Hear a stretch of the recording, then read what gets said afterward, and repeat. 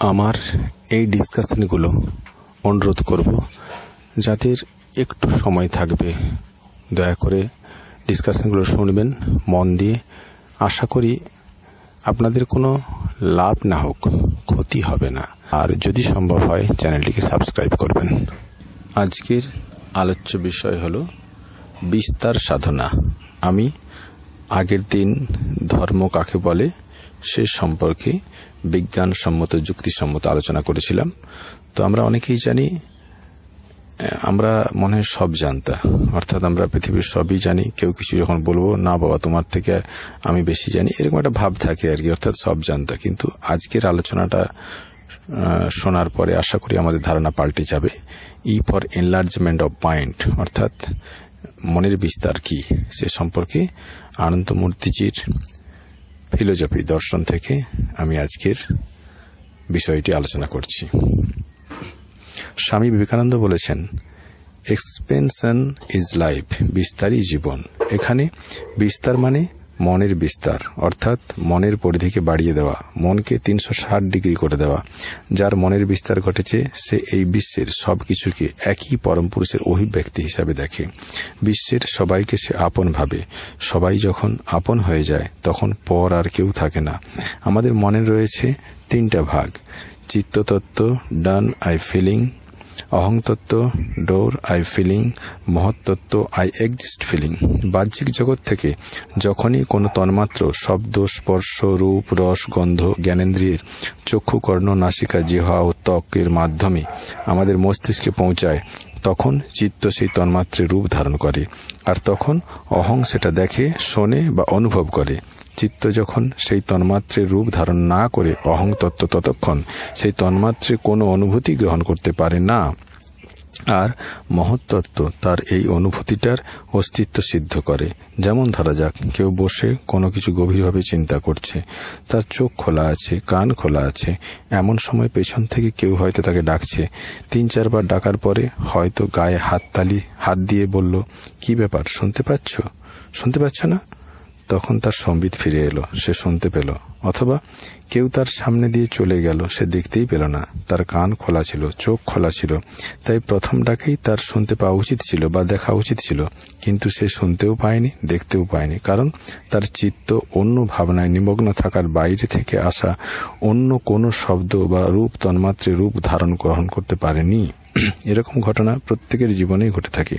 আসলে দেখা বা শোনা ক্রিয়াটা কীভাবে সম্পন্ন হয়, ধরা যাক কেউ একটা বই দেখছে, তখন সেই বই থেকে রূপ তন্মাত্র এসে পড়ে তার চোখের রেটিনার উপরে। তখন অপটিক্যাল ফ্লুইড ও অপটিক্যাল নার্ভাসের মাধ্যমে সেই অনুভূতি মস্তিষ্কে পৌঁছায় ও সেখানে বিশেষ কিছু স্নায়ুকোষকে স্পন্দিত করে। মস্তিষ্কের এই স্নায়ুকোষগুলি আসল চক্ষু ইন্দ্রিয়। তখন মনের একটা অংশ সেই রূপ তন্মাত্রে রূপ ধারণ করে। মনের যে অংশ সেই তন্মাত্রের রূপ ধারণ করে, তাকে বলে চিত্ততত্ত্ব।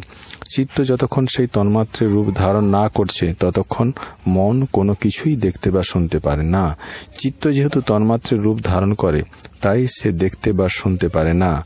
মনের যে অংশ এই দেখা বা শোনার কাজ করে, তাকে বলে অহংতত্ত্ব। আমি করি, আমি দেখি বা আমার বস্তু এই বোধকেই বলে কর্তৃত্বাভিমান বা অহংবোধ। এখন জীবের মধ্যে আমি আছি। বোধ না থাকলে কোনো ক্রিয়াভাব নিষ্পন্ন হয় না, আর জীবের কর্তৃত্ববোধ বিপন্ন হয়ে পড়ে। আমি আছি বোধের উপরেই, আমি করি বোধ টিকে থাকে। আমিত্ববোধ না থাকলে আমি করি বোধ কিসের উপর নির্ভর করে আসবে? আমি আছি বোধের উপরেই, আমি করি, বলি, শুনি বোধগুলি জাগে। মনের এই আমি আছি বোধকেই মহত্তত্ত্ব বলে।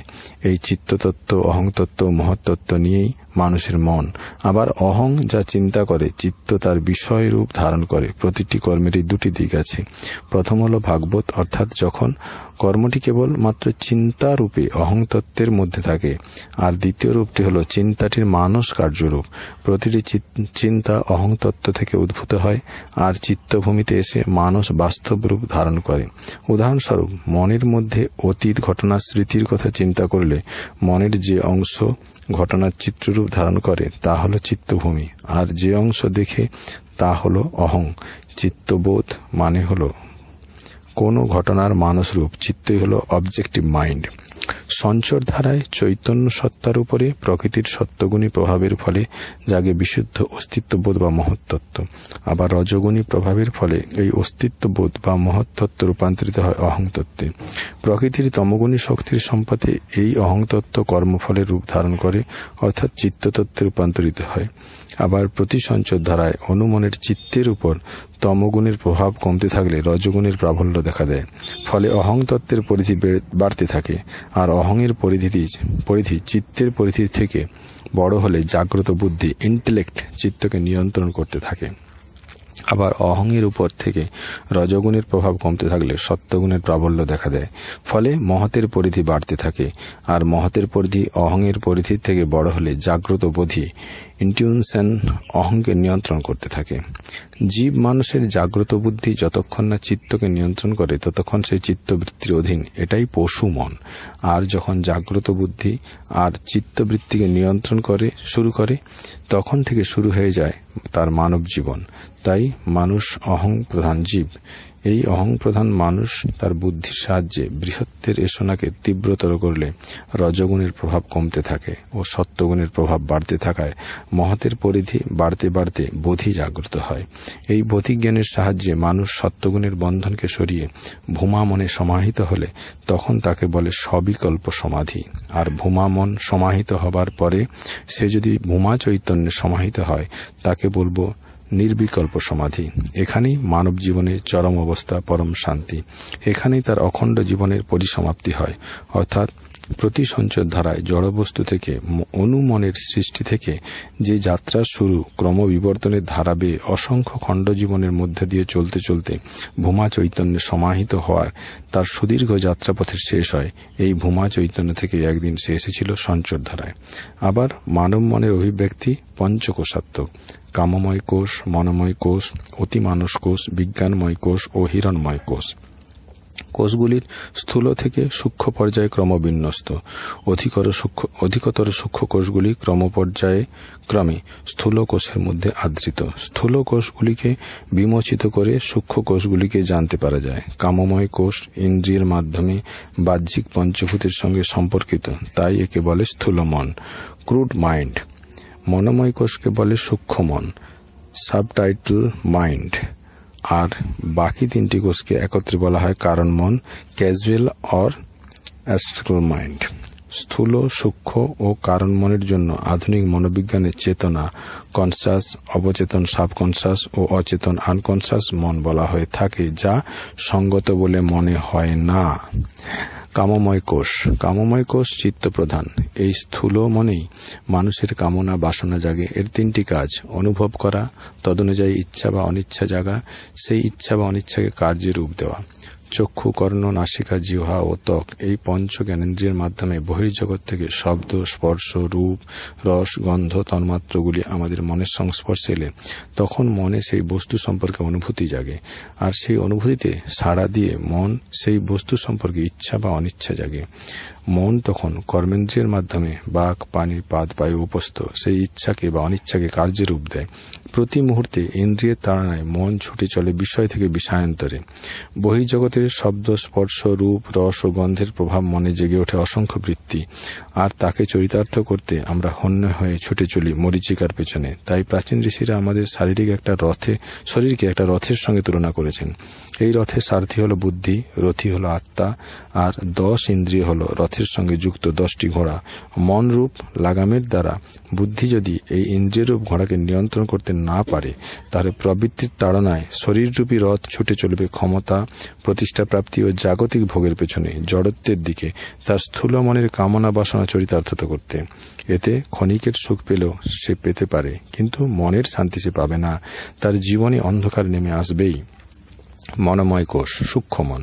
এই সূক্ষ্মমন অহং প্রধান বুদ্ধির স্তর এর প্রধানত দুটি কাজ, গভীর চিন্তন ও স্মরণ। জগতের অধিকাংশ মানুষের চিন্তা ভাবনা মনের এই স্তরেই সীমাবদ্ধ থাকে। গভীর দার্শনিক চিন্তা ভাবনা বা বৈজ্ঞানিক বিচার বিশ্লেষণ মনের এই স্তরেই হয়। এই সূক্ষ্ম মনের স্তরেই মানুষ কোনো কিছু স্মরণ করে, আবার স্বপ্ন দেখে এই সূক্ষ্ম মনে। স্বপ্নের সময় স্থূল মন কাজ না করায় সূক্ষ্ম মনে যা কিছু দেখে তা সত্য বলে মনে হয়। এই সূক্ষ্ম মনের উপর নিয়ন্ত্রণ থাকলে মানুষ অন্যের স্থূল মনকে প্রভাবিত করে তাকে তাকে সম্মোহিত করতে পারে। অতিমানস কোষ অতিমানস কোষ কারণ মনের প্রথম স্তর। মহৎ প্রধান এই স্তরে রয়েছে বোধির অবস্থান। এখানেই মানুষের সংস্কার বীজরূপে জমা থাকে। এই স্তরে মানুষ পৌঁছালে তার কাছে অতীত, বর্তমান, ভবিষ্যতের দ্বারগুলি খুলে যায়। জীবনের রহস্য তার কাছে পরিস্ফুট হয়ে ওঠে, কারণ মনের এই স্তরে রয়েছে সৃষ্টিধর্মী অন্তর্দৃষ্টি। এই অতিমানস কোষ সূক্ষ্মমনের সব যুক্তি ও বিচারশীলতার ঊর্ধ্বে। দৈবী অনুগ্রহ, জ্ঞানজ স্বপ্ন, প্রতি সাংবেদনিক তথ্যানুভূতি, টেলিপ্যাথেটিক ভিশন, প্রতি সাংবেদনিক দিব্যদৃষ্টি ইত্যাদি মনের এই স্তরের খেলা। বিজ্ঞানময় কোষ, কারণ মনের দ্বিতীয় স্তর। আক্ষরিক অর্থে বিশেষ জ্ঞানের স্তর। এই স্তরে মন সেই অনন্ত ভাব সমুদ্রের তরঙ্গের সঙ্গে মিলেমিশে একাকার হয়ে যেতে চায়। সাধক মনের এই স্তরে তন্মাত্রিক জগতের সুখ, দুঃখ, আনন্দানুভূতি তথা এই মহাবিশ্বের সব কিছুকেই তার উপলব্ধি দিয়ে ছুঁতে পারেন। তার ভেতরে তখন বিবেক ও বৈরাগ্য জাগ্রত হয়। অন্যান্য উচ্চ গুণাগুলি গুণাবলীগুলি যেমন ধৈর্য, ভদ্রতা, সমদর্শিতা, সদাপ্রফুল্লতা, নম্রতা, মহানুভবতা আর অচঞ্চল, একাগ্রতা তার মধ্যে প্রকাশ পায়। এই অবস্থায় সাধক জাগতিক সকল বস্তুর প্রতি অনাসক্তভাবে প্রতিষ্ঠিত হন। সমদর্শী অনাসক্ত সাধক দেখেন পরম পুরুষেরই বহুরূপে তার সম্মুখে প্রতিভাত হয়েছেন। তিনি তাই আসক্তি বা ঘৃণার চোখে না দেখে সবকিছুর প্রতি পরম স্নেহের সম্পর্ক গড়ে তোলেন। তিনি হন পরম বৈষ্ণব। হিরণময় কোষ। হিরণময় কোষ কারণ মনের উচ্চতম স্তর আধ্যাত্মিকতার স্তর। এই স্তরে মন সেই অনন্ত সত্তাকে পেতে ব্যাকুল হয়ে ওঠে। এই সূক্ষ্ম কারণ মন হল পূর্ণত্বের দ্বারপথ এখানে সামান্য একটা অতি সূক্ষ্ম আবরণ থেকে যায় মাত্র, যা অতিক্রম করলে আত্মার সেই অত্যুজ্জ্বল আলোকের দর্শন লাভ হয়। আর অপূর্ব সেই মহাদ্যুতির অভিজ্ঞতা সেই হলে সাধক সেই পরম সত্তা তথা অনন্ত সত্তার সামীপ্যে উপলব্ধি করেন। তখন সেই পরম সত্তার সঙ্গে মিলেমিশে একাকার হয়ে যাবার ঐকান্তিক এসনা প্রবল হয়ে ওঠে। হিরণময়ের পরে কোষে বিরজং ব্রহ্ম নিষ্কলম, এই হিরণময় কোষের পরেই নির্গুণ ব্রহ্মের অবস্থান। তাই ভাগবত ধর্মের প্রথম পাদ বিস্তার মানে এই পঞ্চকোষাত্মক মনের বিস্তার। কিন্তু কীভাবে এই মনের বিস্তার সম্ভব? তত্ত্বজ্ঞানী মহাপুরুষেরা বলেন, যোগ সাধনার মাধ্যমে মনের বিস্তার সম্ভব। যোগ কি? ভগবান শ্রীকৃষ্ণ বলেছেন, যোগ কর্ম সুকৌশলম। মানুষ প্রতি মুহূর্তে কর্মের মাধ্যমে বেঁচে থাকে। আমরা যে শ্বাস নিই, কথা বলি, চলি, খাই, পড়ি, খেলি, অর্থাৎ দৈনন্দিন জীবনে যা কিছু করি, তা সবই কর্ম। শুধু জাগতিক ক্ষেত্রে নয়, মানসিক ও আধ্যাত্মিক ক্ষেত্রেও আমাদের কর্মের মাধ্যমে এগিয়ে চলতে হয়। এখন এই কর্মের তা সে জাগতিক, মানসিক ও আধ্যাত্মিক যে ক্ষেত্রেই হোক না কেন, তার একটা নিয়ম আছে, কৌশল আছে। কোনো কর্মের এই নিয়ম বা কৌশলকে যে যতটা আয়ত্ত করতে পেরেছে, সে তত সুষ্ঠুভাবে ও দ্রুততার সঙ্গে সেই কর্মের সাফল্য লাভ করে। রং, তুলি আর কাগজ থাকলেই ছবি আঁকা যায় না।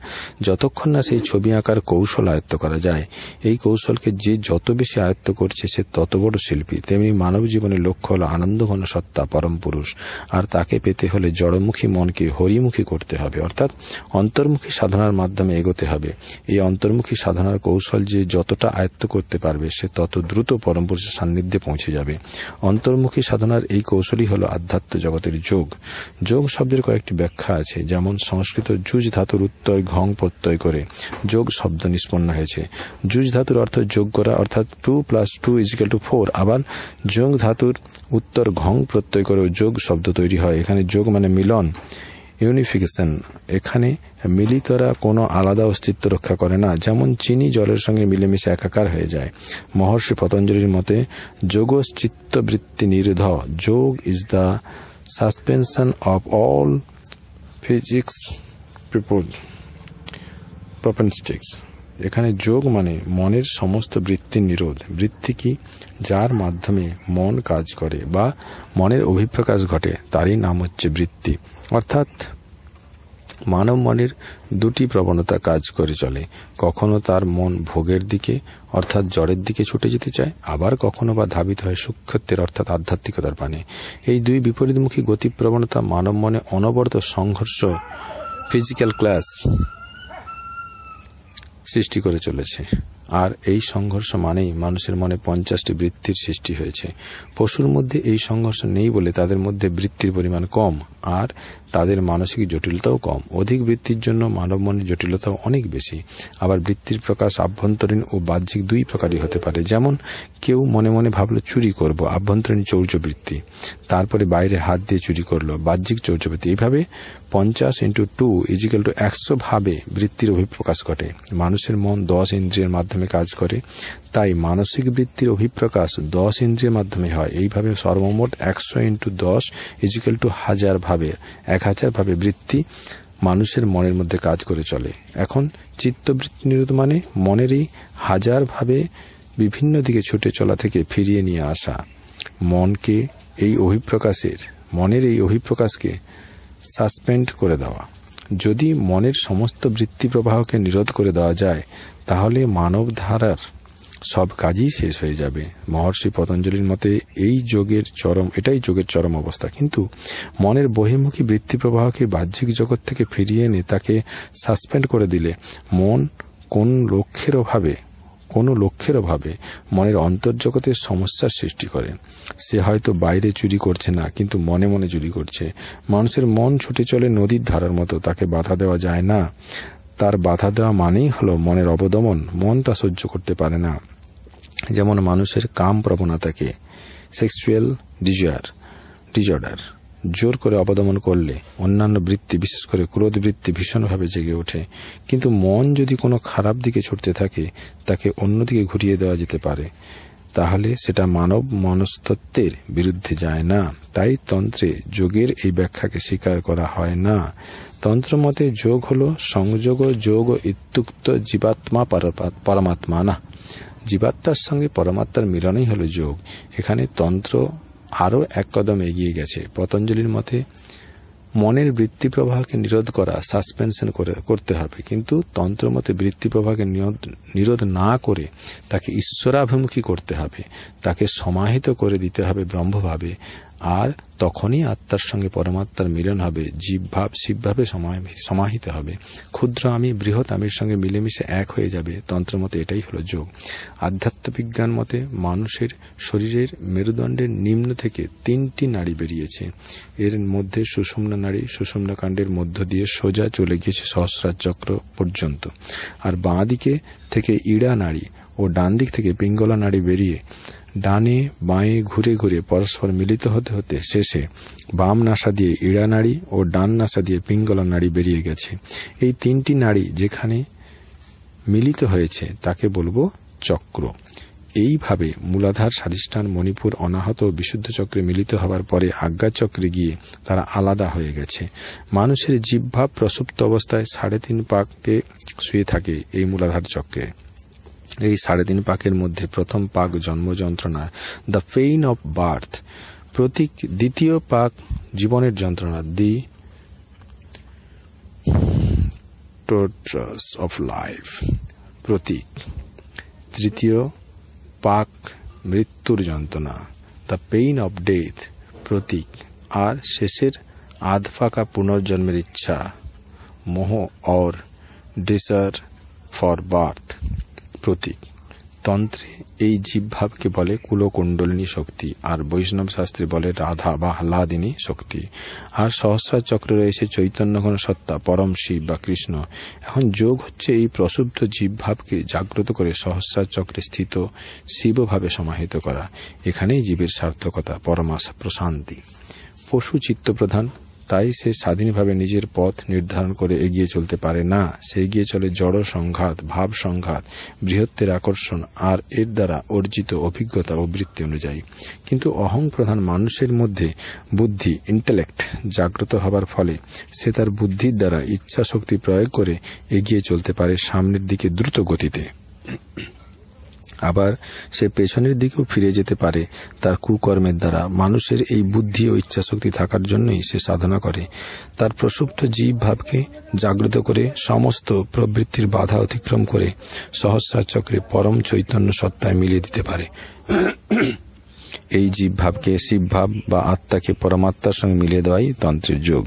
এই যোগ সাধনা অষ্টাঙ্গিক আর এর নিয়মিত অনুশীলনের দ্বারাই মনের বিস্তার সম্ভব। যম নিয়ম সাধনার দ্বারা কামময় কোষ, প্রাণায়ামের দ্বারা মনোময় কোষ, প্রত্যাহারের দ্বারা অতিমানস কোষ, ধারণার দ্বারা বিজ্ঞানময় কোষ, ধ্যানের দ্বারা হিরণময় কোষের বিকাশ সম্ভব।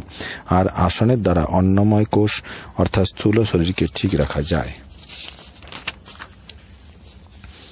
আজকের এই আলোচ্য বিষয়টি এখানে শেষ হল। কোটেড ফ্রম তমসার পরে পরে আচার্য ব্রজেশ্বরানন্দ অবধূত